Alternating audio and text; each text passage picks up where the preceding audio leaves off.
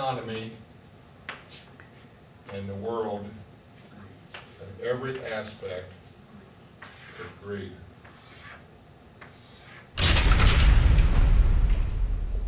Goes back to that eight percent CD, when the current market rates indicate the best you can get, FDIC insured, Federal Deposit Insurance Corporation is two percent. What are they doing to get that eight percent? Boy, I want that kind of return. I'm gonna put my life savings in it, I'm gonna go do it. I'm gonna get it. Time Magazine had a, uh, article of the twenty-five, I'm not sure how they worded it, twenty-five influential people, or twenty-five people that caused this meltdown of the economy. I'm not sure they are ranked in any specific order. But you had President Clinton, you had President Bush at the top, you had Alan Greenspan, former Fed chairperson, that type of thing. You had a lot of different people, Madoff, his Ponzi scheme and things of that nature. You've, you've all read all this stuff, You- you've seen everything that's happened. But one of the twenty-five persons was a group of people, like us in this room, and it said the American people created this. American people had a driving desire to improve, increase, accelerate their standard of living well beyond their financial needs. They wanted a house that they grew up in with mom and dad right away, instant gratification. They wanted that brand new car. Banks became wonderful lenders.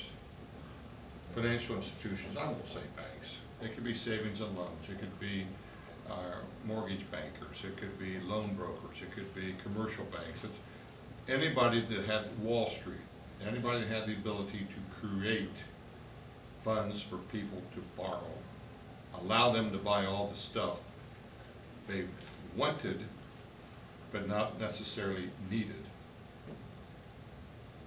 Are you all familiar with Maslow hierarchy? That, that, that's a good, real quick, real quick, I don't wanna get into Maslow, but you get into people in general, life in general. It's a little pyramid, and it starts at the bottom. And the bottom layer is the basic necessities of life. Food, clothing, shelter. When you have that level, that's, that's the basis. And as you go up the pyramid, you reach a a pinnacle, it's called self-realization. And each step along the way, you're kind of climbing the ladder. Well, I got my basic needs, now I have my house, I have- my car, I have my house, all these kind of luxury items.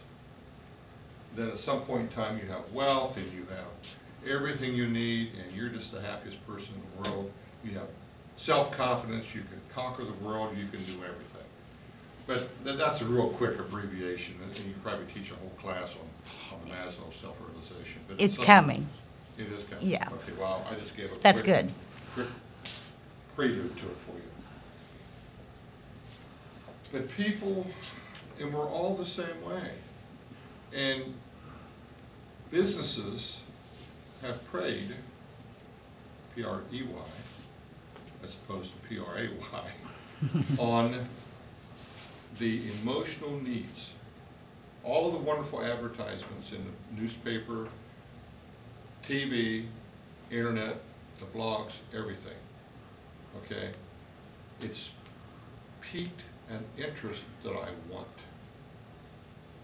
You have an interest, the neighbors, the, the Joneses next door, if you will. They've got that, why can't they, they, how do they afford that? I want that. And you go out and stretch, and you look at your income, you look at your budget. I'm making hundred dollars a week, and all this and that, and food, clothing, shelter costs seventy-five, eighty bucks. I have twenty extra, and I'm using the number, just it's not realistic. Then I have twenty dollars left a week. I can go out and borrow money to make that payment so I can have this. Could be a camper, could be a boat, it could be a car, it could be another house, it could be a swimming pool in the backyard, all kinds of little things that are not necessary to your basic needs of life. Then your wife, your spouse, significant other works, you have two incomes in the family. Then you start adding all that, their salaries together, and we can afford a little bit more. Well, next thing you know, they start a family. Well, then you have a family that both spouses gotta keep working. Next, next thing you do, you gotta have daycare. Someone watch your child during the day. That's additional cost. Well, we're getting by, I got a raise this year, I got a bonus, we can do this. Then next thing, the economy starts getting tired. One of the spouses gets laid off. That cuts the income in half. Or a third, or what factor it may or may not be.